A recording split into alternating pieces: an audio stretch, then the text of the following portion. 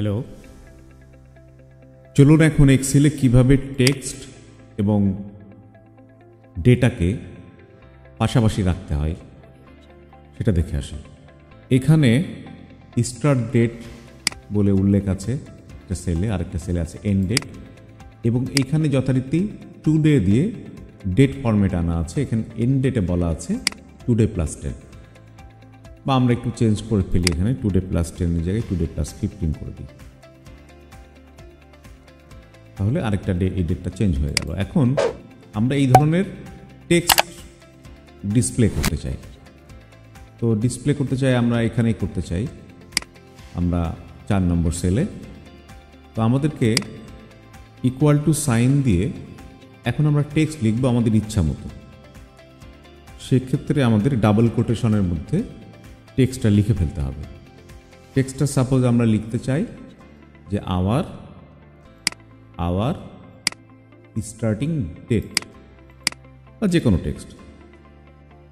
আমরা লিখতে চাই O U R our S T A R T I N starting D A T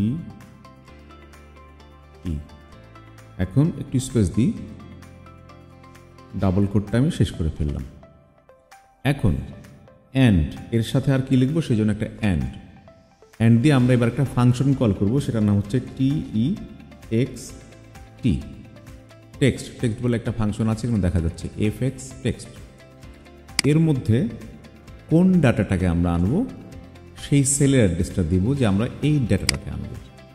B one এবং এই ডাটাটা ফরম্যাটটা আমাদেরকে বলে দিতে হবে যে এটা কোন ফরম্যাটে আসবে। আমরা একটা কমা দিয়ে আবার ডাবল কোটেশন নিয়ে আমরা বাংলাদেশি টাইমে যেভাবে লিখি D D M M Y Y এই ফরম্যাটে আনতে চাই। এটাকে আমরা ক্লোজ করে দিলাম।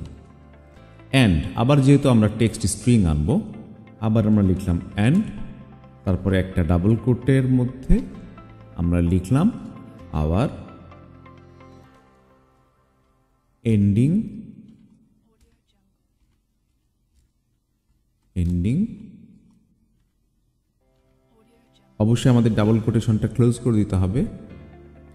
এবং আবার আমরা একটা সেল নাম্বার নিয়ে আসব, এই জন্য আবারও দেবো অ্যান্ড অ্যান্ড দেন আমরা লিখব টেক্সট টি ই এক্স টি এটা ফাংশন টেক্সট ফাংশনের মধ্যে ফার্স্ট ব্র্যাকেট দিয়ে এন্ডিং যেটা, সেটার আমরা ডেটটা নিলাম অ্যান্ড কমা দিয়ে ডাবল কোড দিয়ে আমাদের ফরম্যাটটা বলে দিতে হবে। আমরা এটাকে ডিডিএমএম ওয়াই ওয়াই না করে এটাকে আমরা উল্টা দিই। মানে ইউএস ফরম্যাটে আমরা দিই M M DD Y Y. এখন ডাবল কোটেশন ক্লোজ করতে হবে, তারপরে আমাদের ব্র্যাকেটকে ক্লোজ করতে হবে। মোটামুটি স্ট্রিং এবং ডেট দুই ধরনের ডেটা আমরা দিলাম এখানে, এখন এন্টার প্রেস করে দেখি ঠিক রেজাল্ট আসবে। ওকে আবার স্টার্টিং ডেট এইটা দিলাম। এখন কিন্তু এখানে ছিল পঁচিশ ছয় পঁচিশ একুশ এখানে দেখাচ্ছে পঁচিশ ছয় একুশ। পঁচিশ ছয় একুশ। এই কমেন্টস আমরা যখন এখানে এইটা লিখেছিলাম আওয়ার এন্ডিং ডেট এখানে আমরা স্পেস দিতে পারতাম।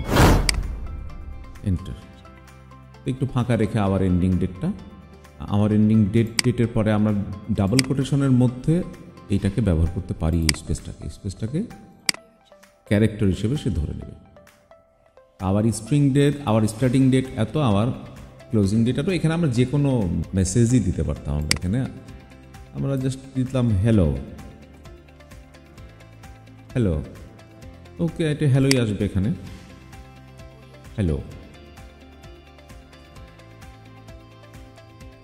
তো দুইটা সেল থেকে দুই ধরনের ডাটা তার মধ্যে একটা স্ট্রিং এবং একটা ডেট এবং আরেকটা ভ্যালুও হতে পারত। সেগুলো আমরা বসাতে পারব কীভাবে? এই বিষয়টা নিশ্চয়ই আপনাদের কাছে ক্লিয়ার হলো।